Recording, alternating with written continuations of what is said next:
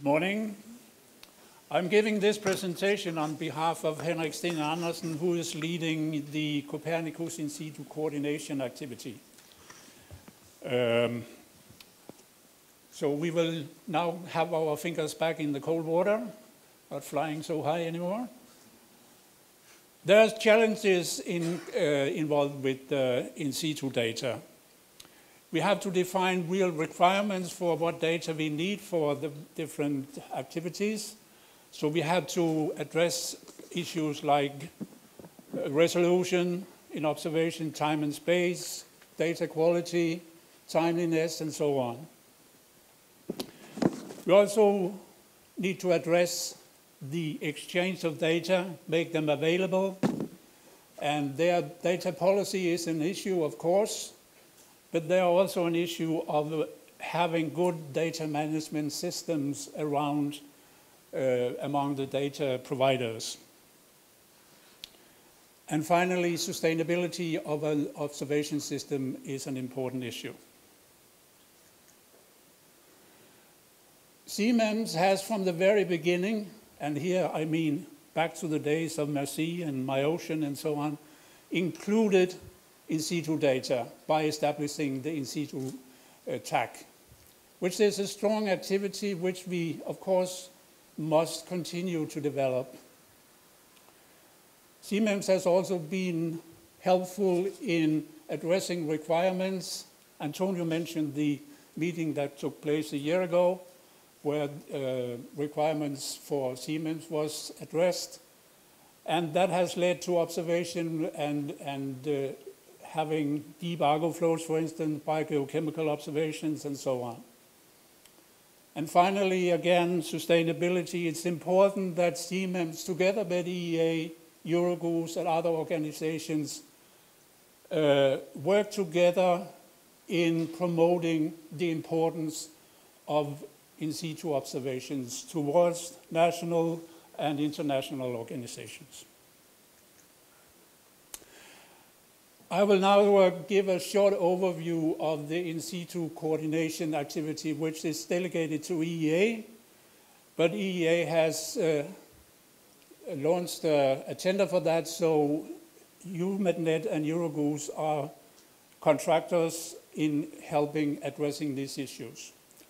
There's a lot of activities that are uh, being done within this uh, coordination activity.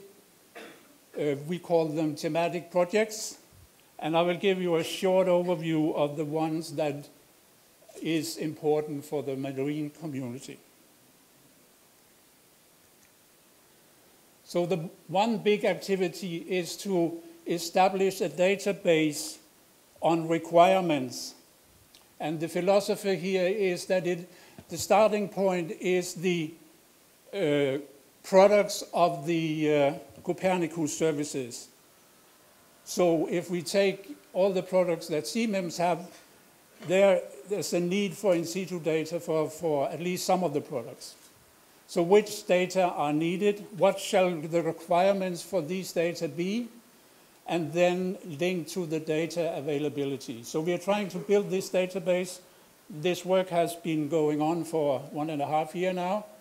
And actually right now we are preparing a synthesis report that should be ready by the end of this month.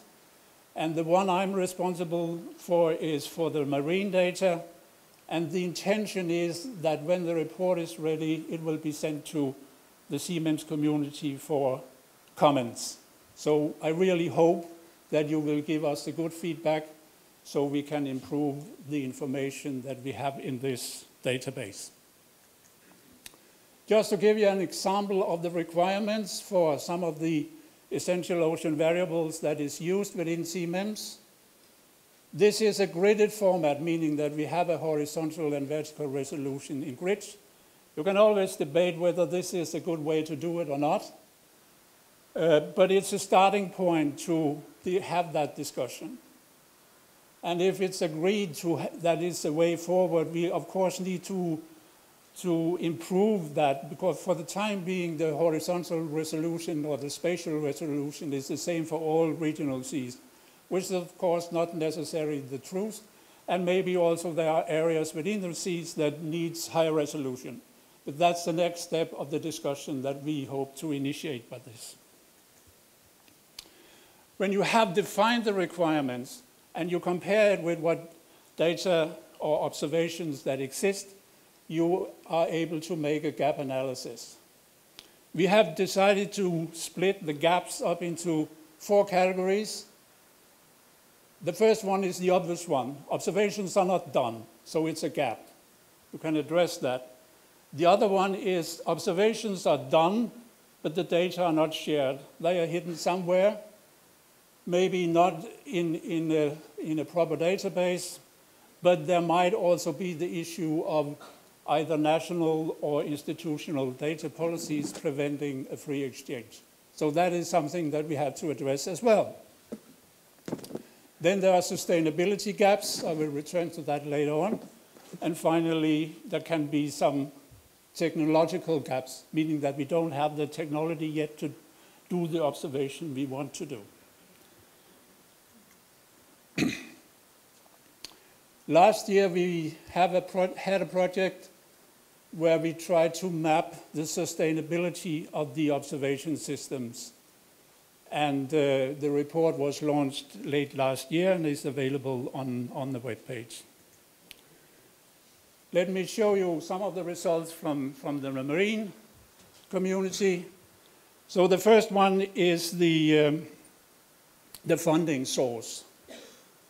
And you can see that nearly 50% of the observations are funded by a combination of institutional funds and research funds. Only a little less than 30% is funded by institutional funds alone, meaning it's a part of an of a institutional annual budget. And uh, nearly uh, as much is, is uh, pure research funded observations.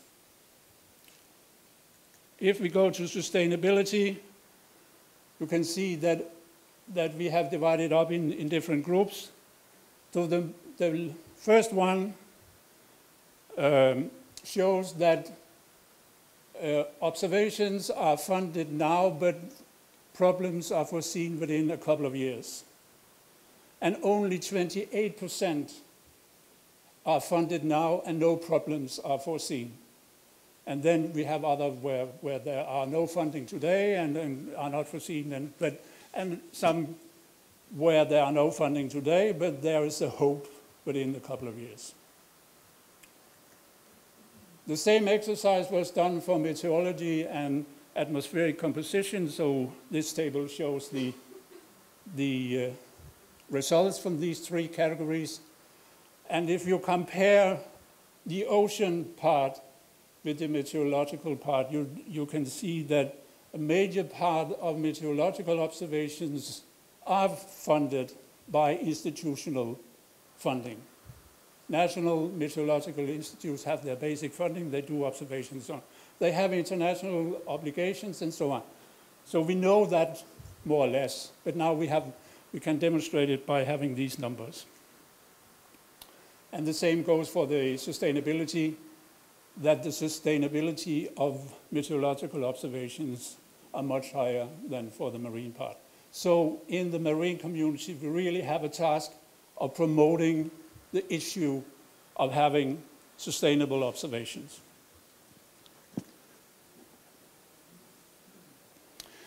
Then there's a relatively new thematic project focusing on hydrology so the freshwater inflow, and of course that is, is of interest for several of the Copernicus services, also the marine one, uh, where it's interest to have the inflow of freshwater from land and, what, and the substances that it carries with it.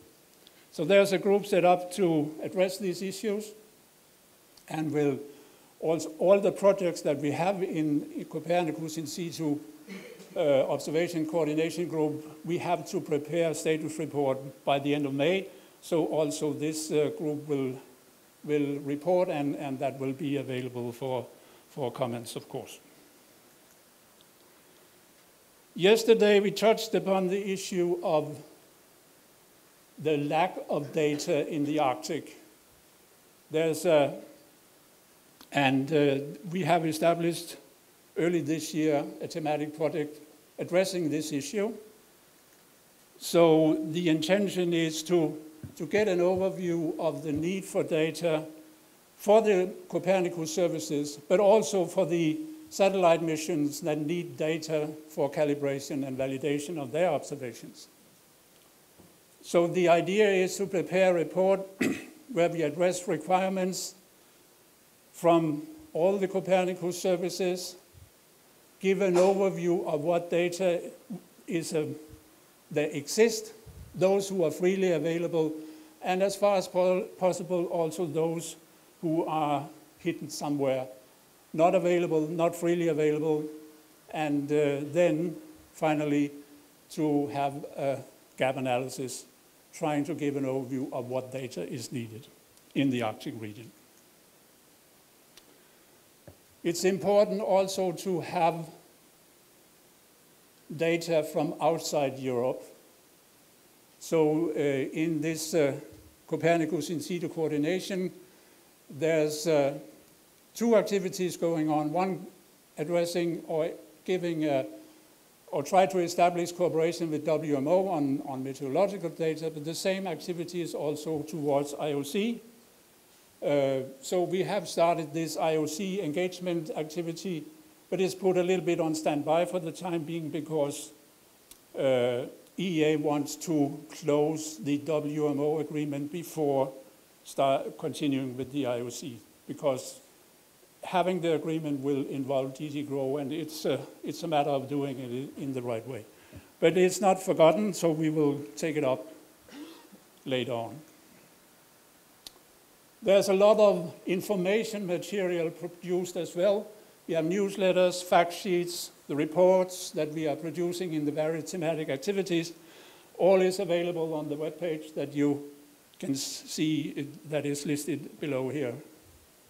And finally, we, have, uh, we are about to start a project um, on uh, reanalysis of uh, old drifter data. It's just been decided a few days ago, so I don't much about it, but it's an activity that will be going on or start uh, within a few weeks. And then I think that is my Okay, fine. So much the better. It, it involves IFREMER and Meteo France and CLS, I think, and EUMETNET.